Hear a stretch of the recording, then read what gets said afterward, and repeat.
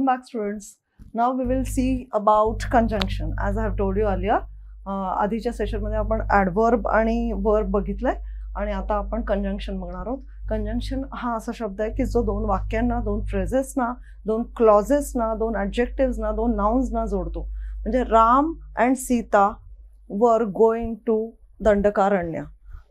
Ram and Shyam were going through jungle Sita and Gita were twin sisters so and हा जो शब्द येतोय मध्ये तो दोन नाऊन न जोडतोय. Ram and Sita. Ram and Shyam. Sita and Gita. So हा जो अँड शब्द आहे, जो दोन शब्दांना, म्हणजे दोन नाउन्सना जोडतो, तेव्हा तो कंजंक्शनचं काम करतो. म्हणजे दोन नाउन्स जोडतो, कधी दोन वाक्य जोडतो, कधी दोन फ्रेजेस जोडतो कधी दोन क्लॉजेस जोडतो. Principal clause main clause principal clause subordinate clause तर अशा या कंजंक्शन्सचा आपण आता थोडासा अभ्यास इथे करूयात. काही एक्झाम्पल्स ठेवलेत मी काही एक्सरसाइजेस लिहिलेत त्याच्यातनं आपण कुठल्या पद्धतीचे प्रश्न विचारले जातात स्कॉलरशिपच्या पेपरमध्ये इंग्लिशच्या ते आपण बघूयात आणि त्याच्यातनं सोडवूयात. Okay let's first read the conjunction definition which is written on the board okay a conjunction is a word used to connect words, phrases, clauses or sentences. As I've told you earlier, तेच इथे लिहिलेलं आहे. There are many words used as conjunctions असे अनेक शब्द आहेत. फक्त and हा शब्द नाही आहे अनेक शब्द आहेत. की जे दोन वाक्यांना जोडतात दोन फ्रेजेसना जोडतात दोन क्लॉजेसना जोडतात दोन नाउन्सना जोडतात दोन ॲडजेक्टिव्सना जोडतात. म्हणजे Sita was not only sweet but very strong girl so but हा शब्द येतोयमध्ये. स्वीट आणि स्ट्रॉंग हे दोन ॲडजेक्टिव्ह आहेत. आणि त्या दोन्ही ॲडजेक्टिव्हना सुद्धा जोडण्याचं काम कंजंक्शन्स करतात. तर इथे अशा पद्धतीने हे कंजंक्शन्सचा मोठा भाग आहे की जे शब्द जोडतात. तर ते कुठले शब्द आहेत ते बघूयात आपण. अँड जसं मी तुम्हाला सांगितलं तसं but because so that as soon as unless until when while no sooner than so or although though whenever असे अनेक शब्द आहेत. हे मोस्टली हे जे शब्द आहेत हे सगळे जास्त करून कंजंक्शन्सचं काम करतात. तर आता ह्या शब्दांना तर तुम्ही लक्षात ठेवलंच पाहिजे. हे पाठही केले पाहिजेत की कुठले कंजंक्शन्स मॅक्सिमम वेळा वापरले जातात आणि त्यांचं काम ते कसं करतात. तर आता आपण पहिल्यांदा बघूयात की काय प्रकारचे प्रश्न येतात आणि त्याच्यात तुम्ही कसं ओळखायचं find the odd man out म्हणजे तीन चार ऑप्शन्सपैकी तीन हे कंजंक्शन्स नसणार आहेत आणि एक कंजंक्शन असणार. आहे कंजंक्शनशी रिलेटेड ओके? हे तीनमध्ये सिमिलॅरिटी असेल आणि एक ऑब्व्हियसली वेगळं असणार आहे. सर आता आपण याच्यात बघूयात पहिला ऑप्शन्स ओ अलास वाव आणि अँड असे दिलेत. आता ओ अलास वाव ज्याच्या पुढे एक्सक्लेमेटरी मार्क आहे याचा अर्थ हे सगळे शब्द इंटरजेक्शन आहेत. As you must be knowing this interjection म्हणजे उद्गारवाचक चिन्ह आहेत. हे दिलेले आणि उद्गारवाचक शब्द आहेत हे. तर हे शब्द आणि शेवटचा ऑप्शन आहे अँड ऑब्व्हियसली शेवटचा ऑप्शन जो आहे तो करेक्ट आहे तो कंजंक्शन आहे.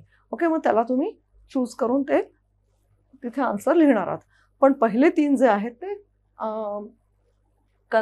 इंटरजेक्शन्स आहेत कंजंक्शन्स म्हणून काम करत नाहीत. आता पुढचा एक आपण बघूयात सॅम्पल ऑफ एक्सरसाइज की fill in the blank using suitable word given in the option in this way the question can be asked. So त्याच्यामध्ये चार ऑप्शन्स ऑब्व्हियसली दिलं असेल आणि एखादं वाक्य दिलं असेल आणि मधलं कंजंक्शन तुम्हाला करेक्टली तिथे फिट करायचं आहे he was blind dash they help him तो मुलगा अंधळा होता म्हणून त्याला त्यांनी मदत केली. म्हणून त्याला मदत केली म्हणून. सो इथे आता काय येईल sir he was blind so they help him he was blind though they help him he was blind because they help him he was blind although they help him so जेव्हा आपण वाक्य म्हणतोय हे सगळे घालून तेव्हा कुठलं वाक्य आपल्याला करेक्ट वाटलं कानाला तर so they help him he was blind so they help him म्हणून त्यांनी त्याला मदत केली. म्हणजे सो हे कंजंक्शन इथे करेक्टली बसतं. त्यामुळे आपण तिथे सो हे लिहिणार आहोत. ओके सो हे उत्तर करेक्ट असेल. काही वेळेला वेगळ्या पद्धतीची पण वाक्य असतात.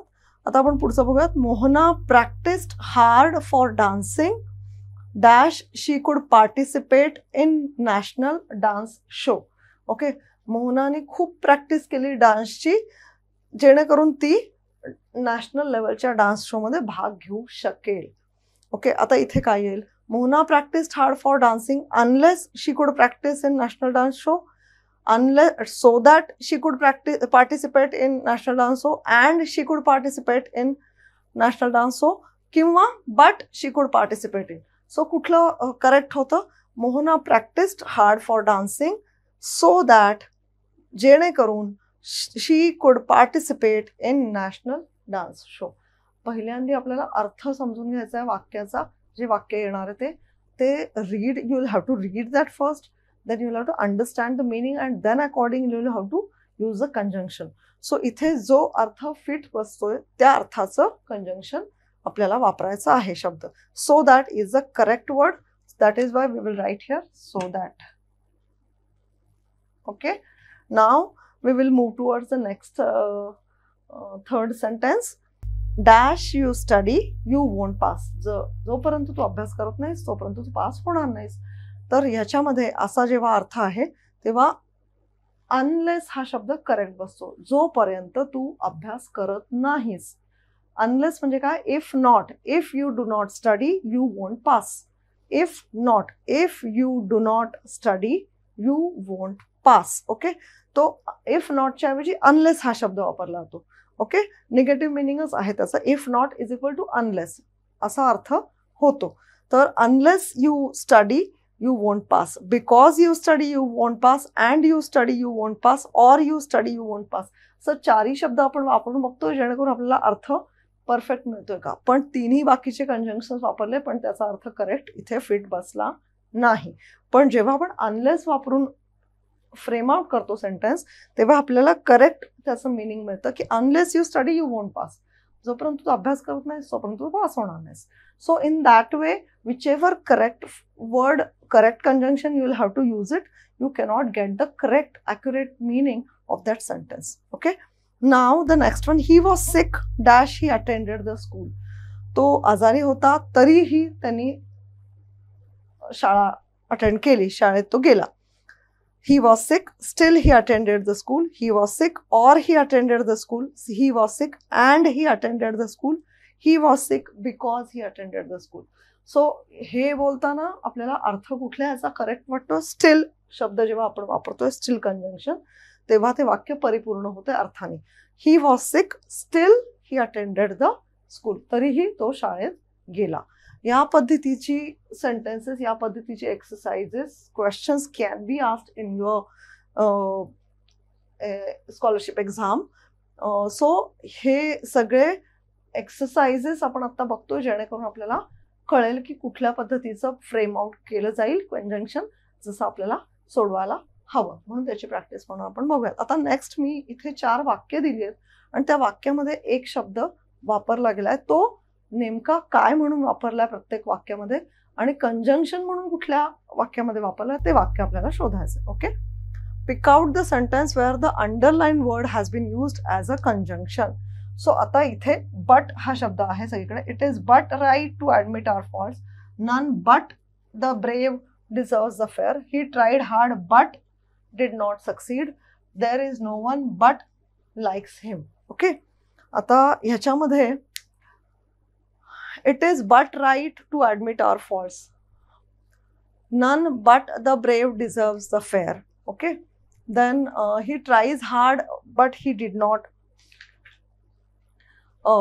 succeed हां आणि there is no one but likes him तर आता ह्याच्यामध्ये आपल्याला एकदम करेक्ट असं आहे की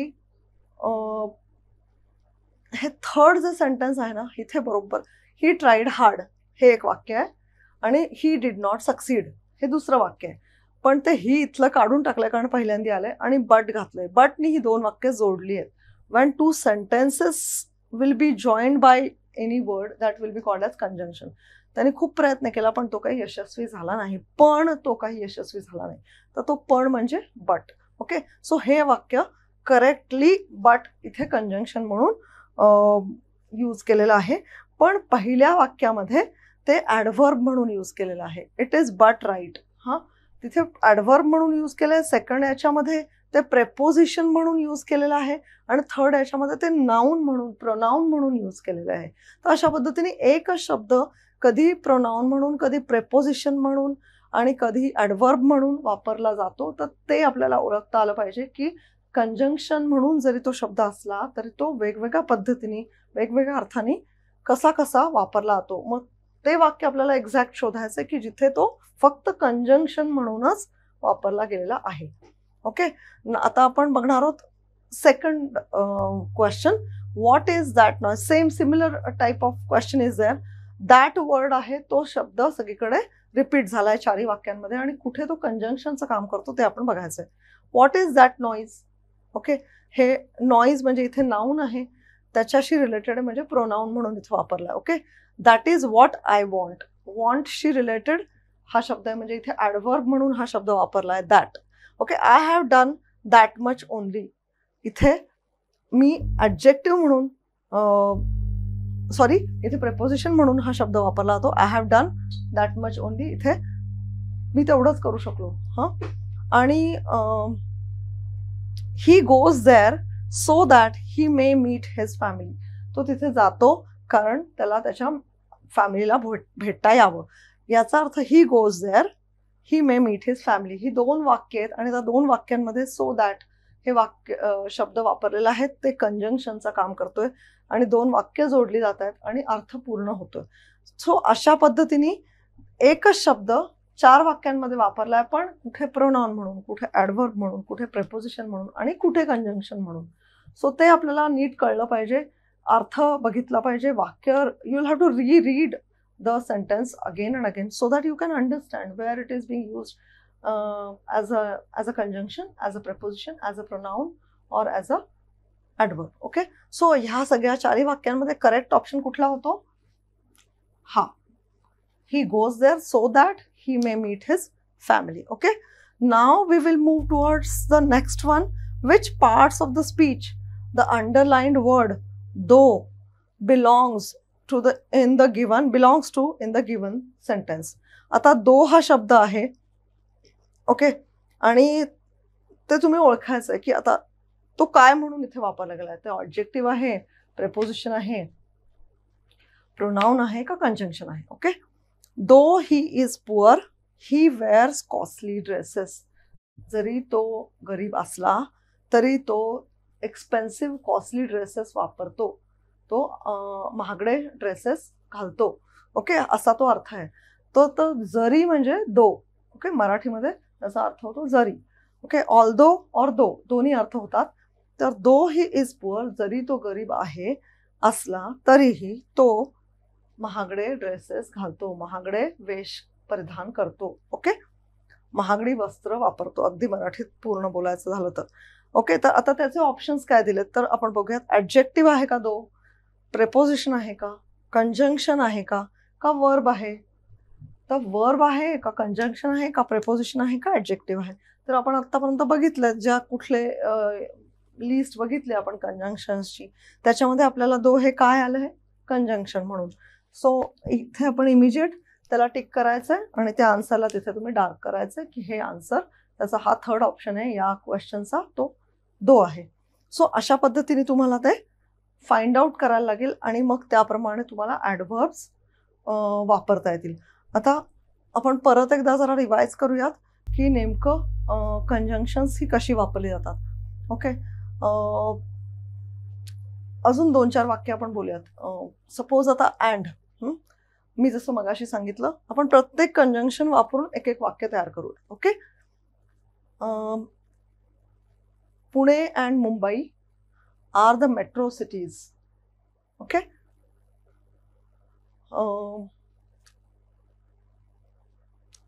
okay अजून एक कुठलं घेऊयात आपण?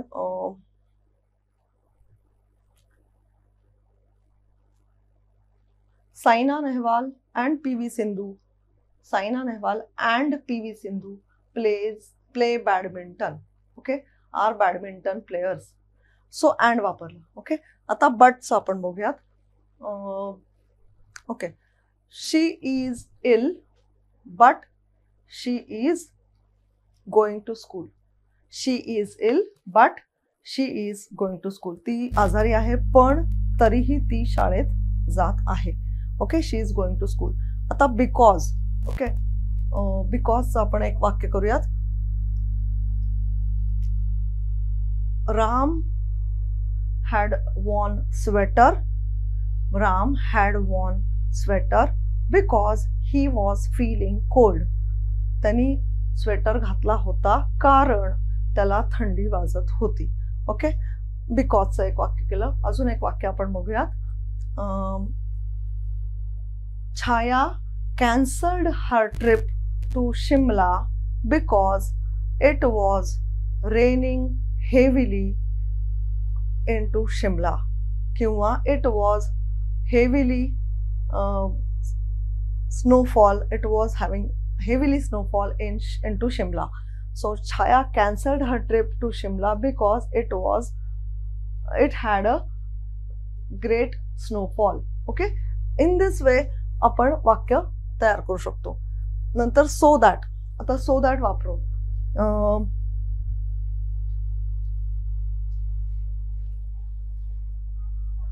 I will take the training of mountaineering so that I can climb the Everest the Everest okay I will take the training of mountaineering expedition so that so that I can climb to the Everest.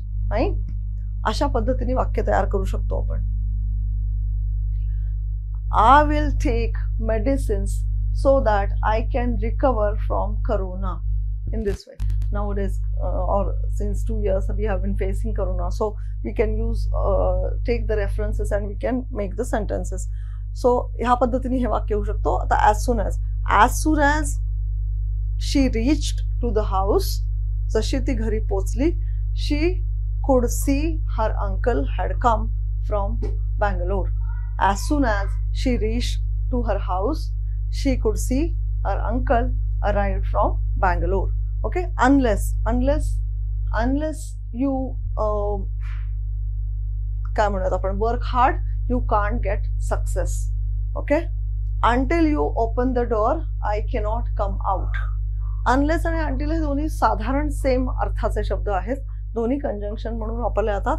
Unless you work hard you can't get success unless you reach to office in time you can't leave the office in time so लवकर पोचशील लवकर निघू शकशील.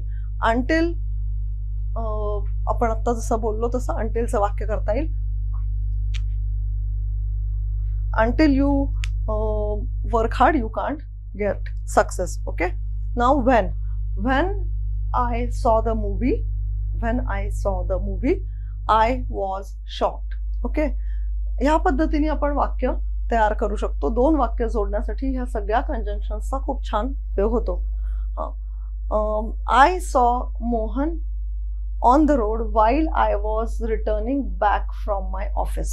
Okay, I saw Mohan on the road while while I was returning back from my office. Okay, so um, mangoes are not uh, ripe, so don't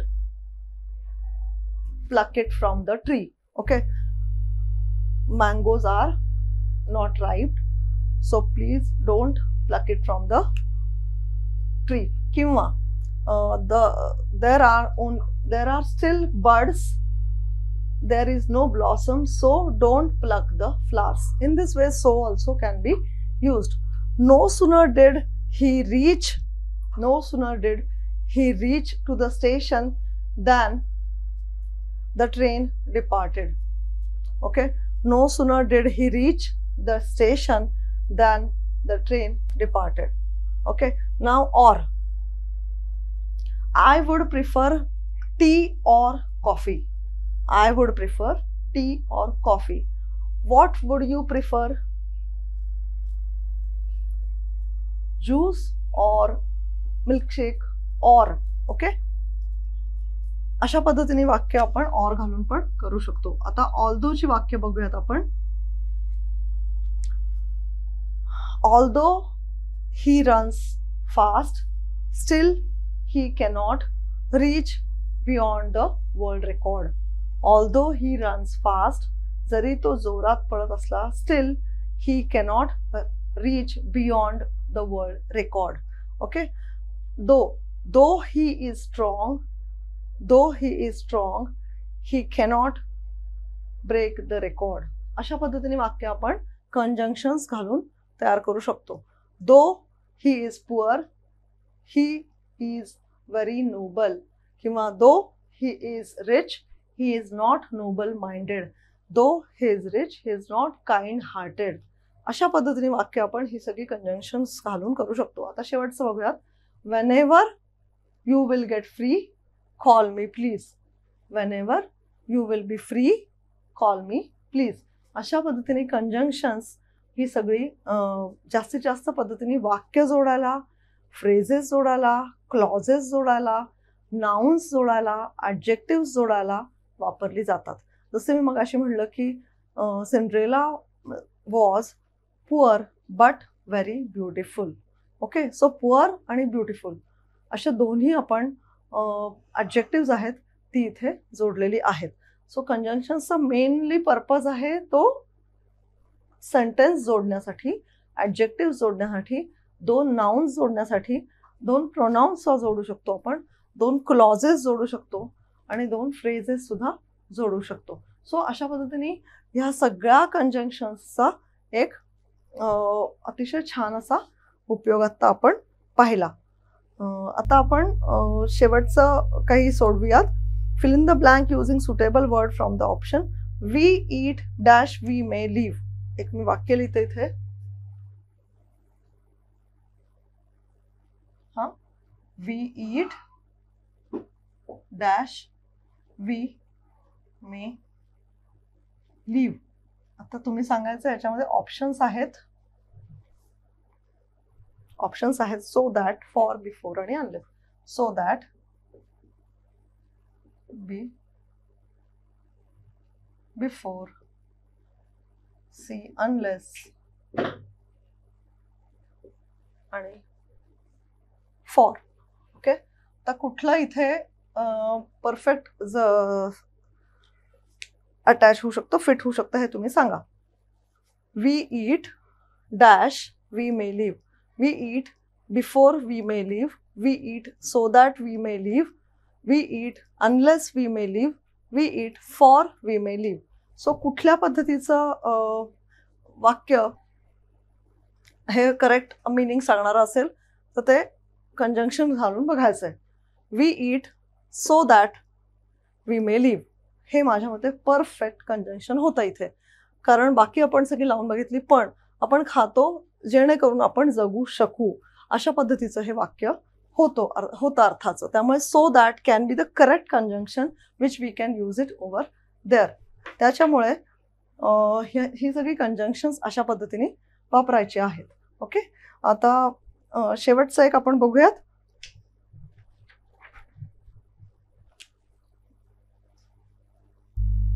Find out the correct conjunctions from here.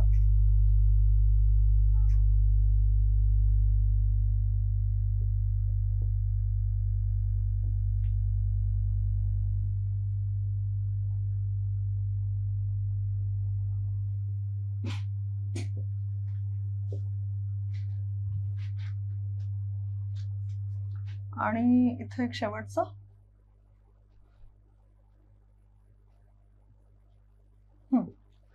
Hurray oh no oh आणि while. तर हे सगळे तुम्ही शब्द जे बघताय त्या प्रत्येकाच्या शेवटी एक्सक्लमेटरी मार्क दिलेला आहे. उद्गारवाचक चिन्ह आहे. याचा अर्थ हे सगळे इंटरजेक्शन्स आहेत. पण एका शब्दाच्या पुढे उद्गारवाचक चिन्ह नाही आहे आणि ते आपण कंजंक्शन्सच्या लिस्टमध्ये बघितलं होतं. त्याच्यामुळे व्हाईल हा शब्द परफेक्टली कंजंक्शन म्हणून वापरला जातो. तर अशा पद्धतीने आपण ही सगळी एक्सरसाइजेस बघितली ज्याच्यामध्ये कंजंक्शन्स कशा पद्धतीने ओळखायचे आहेत आणि कशा पद्धतीने वर्कआउट होता थँक्यू व्हेरी मच आपण पुढच्या सेशनमध्ये भेटू लवकरच.